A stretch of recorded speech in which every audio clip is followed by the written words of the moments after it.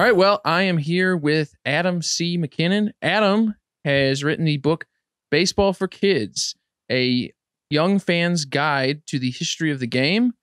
And we're here to talk about the process of that, how you create a public history for children. So, Adam, how's it going? I'm I'm doing all right, man. How are you? Uh, you know, I can't complain. I'm sorry to hear that you have COVID, uh, as we Yeah. talked about. Yeah. Um, but you know, you're gonna power through. This is like the Jordan game of interviews. Right. I, I Um, was watching The Last Dance while I was laid up, so I, I There you go. You're right this. in the mindset. this. um so yeah so like i said adam has written this uh this book uh so like kind of like what was your approach here i know that there are a lot of books for kids a lot of public histories so what, what were you trying to, to do when you set out for this So part of the process, the book was I was actually approached to write the book, um, and when they brought it to me, it was really just an idea, just a concept. And so what I was uh, thankfully able to do was take um, sort of a history of the game and so try to tie it in a way where kids can relate to it. And that's hard, you know, it's hard to do because even as adults, we don't necessarily know the history of the origins of baseball. That's it's, it's not even fully confirmed. So um, what I what I hope to do was to talk about things that they can point to when they're watching a baseball game with their parents, and they could say, "Oh, well, um, I read about that in my book." You know, an announcer says, "Oh, this hasn't been done since Frank Robinson." And then the the kid draws a parallel and says, "Oh wait, I read about Frank Robinson in my book because baseball if you're a kid or even an adult, a first timer, it's not the easiest sport to engage in. You know, there's a lot of like rules and and stillness and things that seem kind of boring. But if you create something that they can draw from and that young people can connect the dots with, uh, that's what I was hoping to achieve. Uh, and uh, maybe teach them some stuff that they maybe they wouldn't necessarily know. You know, something that that's not covered by the rest of the publications.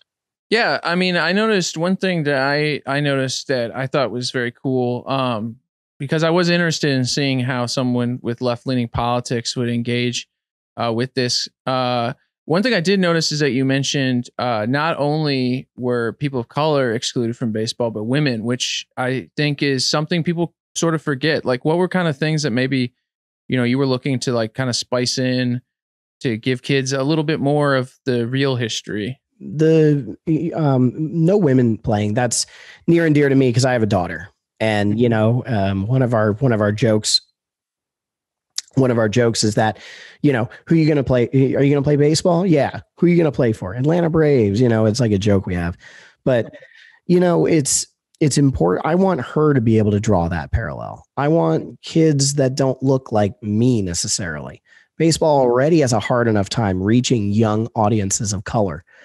So if you can find someone, not just Jackie Robinson, you know, you know, and talk about the Negro leagues, talk about Frank Robinson, talk about Rickey Henderson, talk about these players that that don't get the coverage in uh, otherwise. And it's- if you they if I look like you, then I want to be like you. So yeah, so what was uh, I guess you know what was your favorite thing to add to the book? I you know what was the was your what was the thing that you felt like was the personal touch? The it had to be the negro leagues i Yeah. really i really wanted um, young people to understand like there was a distinct parallel time and and to ask questions the goal is not to spoon feed kids the history of baseball with this book it's to Mhm. get them to engage their parents and to, engage people in these conversations and you know what? Like, what better of a backdrop to discuss something as difficult and complicated as systemic racism as baseball? It's it's a it's an accessible backdrop where young people can can draw a line. Like, why couldn't they play together? So that was really important to me.